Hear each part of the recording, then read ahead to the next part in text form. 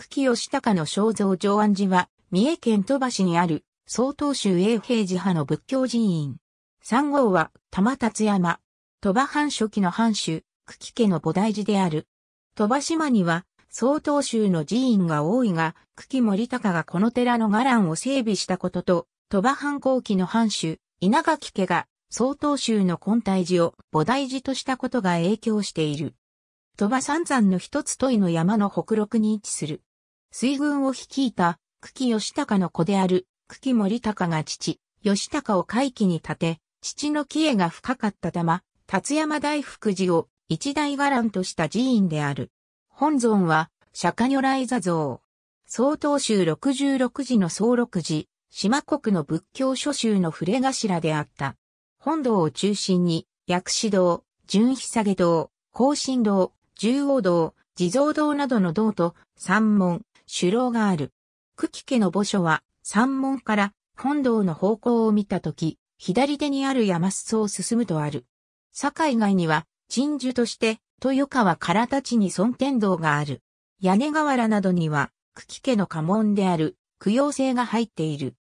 創建年代は不詳であるが、本尊の釈迦如来座像は、室町時代の作である。上安寺を名乗る前は、玉、達山大福寺と称し、真言宗の寺であった。文禄の役の折に、久喜義高の交馬ラインとなる。久喜義高は、曹洞宗への信仰が厚く、三河国宝藩軍の豊川明源寺から、天道医、行善寺を招き、大福寺を曹洞宗に改めた。慶長五年、豊川明源寺七世、徳前東領省の奉仕、官室全道和省を大福寺に招聘し、同時の末寺となった。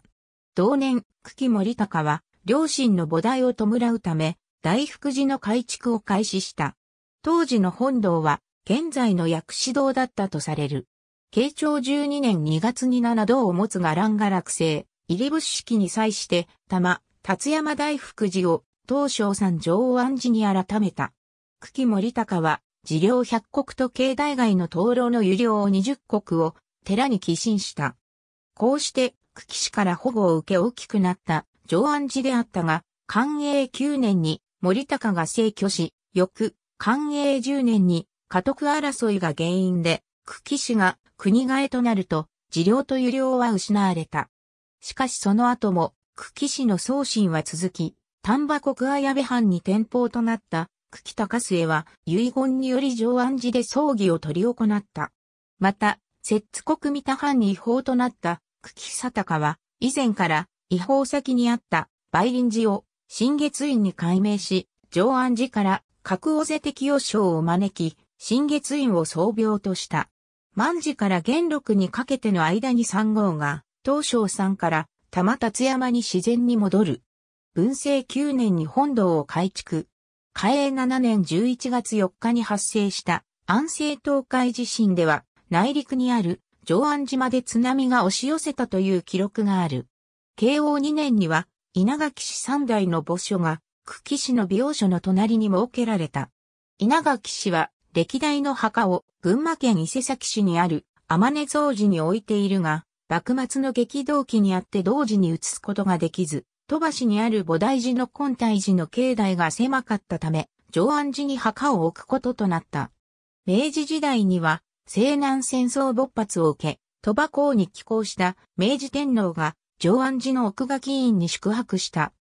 1950年4月23日から5月7日にかけて開催されたパールカーニバル鳥羽港祭りでは昭和天皇の採集された標本の展示を上安寺で行った。時報として久喜義高が自害した際に用いたとされる担当がある。以下の5点が鳥羽市の文化財に指定されている。鳥羽市鳥羽に位置する、鳥の山、日和山、城山を指す。現在の鳥羽港祭りの第1回として行われた祭りである。ありがとうございます。